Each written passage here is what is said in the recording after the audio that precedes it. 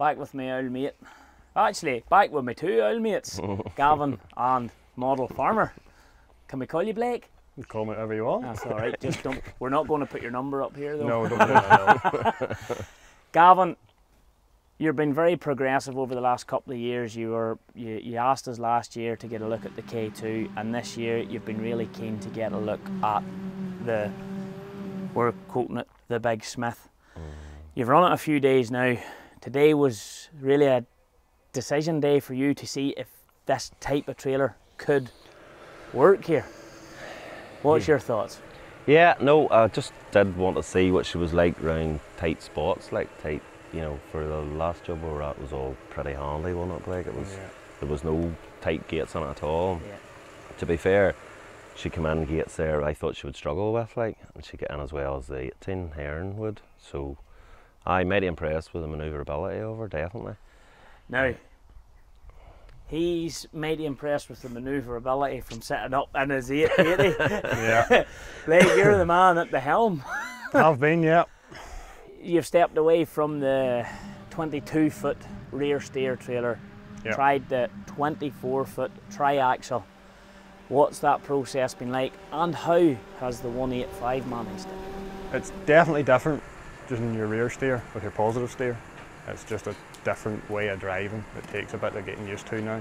The way it follows you more and it's working in reverse too, which is a wee bit funky in places. but it is handy when you get onto it.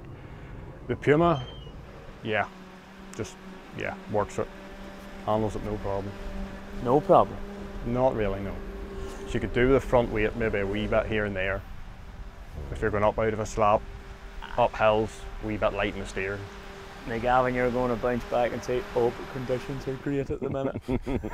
well, I didn't put the front weight on just because there was a real tight gate to get into, and I was slightly worried with the front weight. It might have been just too much, but um, I probably should have had it on her right enough. Um, but aye, conditions are great. Ground is as dry as you could possibly get it in this country.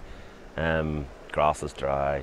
Everything's really in her favour. You know how how she'll handle it yeah. and wetter ground. You know later on in the season. Capacity. We told you, don't be fooled. It holds a lot more than you think. hmm True, to, true to my word. Yeah, no, definitely, definitely. You know, looking at her beside the 18 or even 16, she's a bigger looking trailer, like she has a big trailer, but you wouldn't have think she'd have held well, the 16 cane, like she's holding nearly twice what she's holding, like no problem. Like we've measured it, and the shovel man would tell me that too. Like you just sort of set your spout and you sit there a wee minute before you need to look near it. Yeah. She definitely does hold some stuff now. Is that something that you think we need to look towards? Because harvesters are bigger, tractors are bigger, mowers are bigger, rakes are bigger. Absolutely everything over the last, say, 10 to 15 years has kept getting bigger and bigger and bigger and bigger here and in this country. Never mind in around the rest of the world where people are buying triaxles as standard now. Is that something that we need to be looking at? Because we're not getting our trailers bigger really yet. No, it probably is, yeah. Um, but unless, you know, now I'm thinking maybe should be going that way in the future. Um, before I had tried that, I probably would have said the same as yourself. It's too big, you know, and you couldn't probably we did say, we 100% we said that and we we were scared to commit to buying it actually until we drove it a bit ourselves and then as soon as I had come out and Yeah. said well actually we've put the hands the pump and agreed and, and, and now bought it um, everybody's like well if they've done that it must be as bad as they're you know as we maybe think and you do you have much tighter Blake like you drive every gate I know there's always the odd tight spot There's a few places I think it would be just that wee bit too big. I don't think you could just take it everywhere yet. Hmm. In a year or two, maybe farmers might make it possible, but just at the minute, you would struggle in a few places. But the vast majority, I would say, you could manage it okay. Are you talking at a guess 95% of your work you could do no problem? Up around that, 80, 90 odd percent, I would have thought, yeah. How's the season been, Gavin?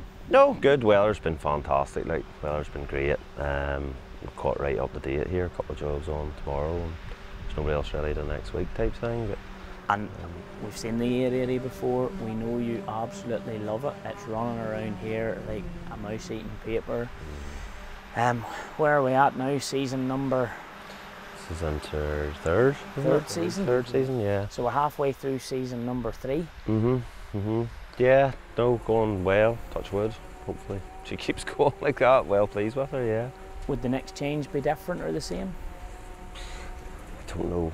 Maybe, maybe slightly bigger. I don't know if you need to go much bigger for what I'm doing. You know, my workload type thing. Um, for chop, you're always chopping as long as possible type thing. I'm not chopping Yeah. any for digesters or anything. So is is is that 960 stroke 970? Is that She's- what bigger is? well, no, she's the same as a 960 horse wise. So Yeah, you'd- it would be you'd ni- have it'd be to 970. it'd be 970 Yeah. you'd have to move to. Yeah, yeah. Well, if he, if he does that, Blake, you're definitely going to need bigger trailers. Might get a bigger trailer What what what colour scheme would you like to go for in your new Puma? How When you long? get your new Puma. I don't know. black Puma, black trailer. Oh, you'd like the Puma black? Why not? Aye. I mean, you need a wee colour change at the top. Go with the Puma red.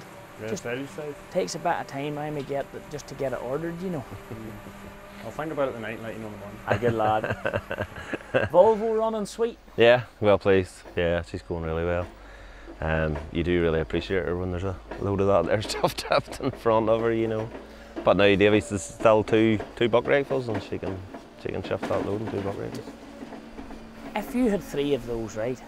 If you replaced four normal trailers running around after you with, say, mm. three of those now, leave out the couple of tight yards.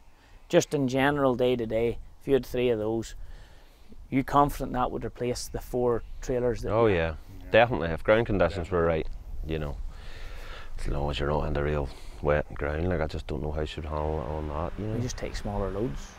Mm, yeah, Like you have to remember you're saying there about holding nearly double some other trailers. That means you have to resist the temptation. it's not simple. That's but, but but that is the problem. You have to remember half. I don't think you'll run into issues with the trailer. Um, I do think your only issue ever potentially would be you have to pull the trailer Yeah. through the ground. But on the plus side, I don't think the trailer's going to go down. No, no. I would say the trailer will carry well enough with the six wheels, obviously the triaxle. Um, well, there's there's a mate. There's a three ten up there. I could always get the lane of that. We'll get her tight. Uh, you'll have to try the 250 on it sometime, maybe. Nah, two fifty. Yeah, yeah. Well, she's usually on the mowers, you see. So, but I it would be nice. to You have, I suppose, for carting purposes, your 185 is your biggest tractor on the on the carting duties. It's like it's sort of your long wheelbase style tractor. Mhm. That's is it a non-starter? Do you think in the smaller, like the 150 Deere, that that type of trailer, or Personally, I would have thought so, yeah. yeah? I don't think you'd want anything any smaller than that on it. Just to keep the tractor the boss, rather than the trailer bullying the tractor. Your weight, your stance, it's just nice to have that wee bit more. I And how's your business going on the model side, or are you in complete shutdown now? No, definitely not. Still working away as best I can, up to my eyes as usual. It's just torture. You love it. he ah. does love it, doesn't he? He does love it. I have one question for you, Gavin. I understand you're still a little bit concerned, but based on the demo, and we did leave it alone with you, would you love to own it? And I'm not saying it would work everywhere. Is it something you look at and go, I'd love to own that? I definitely would think about it next time. Changing the trailer, definitely. A big, Mm. just bit more capacity. Yeah, you could do away with you could do away with a couple of trailers, like you could easily, you know. Well, as you say, if you're four trailers out, you could definitely work with three, no problem. Like even not filling them. Um, but say we're we're back to this. The ground conditions are fantastic at the minute, you know. Just nice to see what she was like. And then you have a bit of grain to cart too, you know, it would look wild well. the, the new to you 570 Mm, tipping into that for the grain size. What do you think, Blake? Yeah, Aye, that would look well too. And then there'd be run to the mill, you know, you'd take a break. wouldn't you? I'll bring her back out in a couple of weeks and find out. oh, we'll be able to do that, okay. Right, guys, thanks very much. Thank you. See you Cheers, again Gareth. soon. Thanks.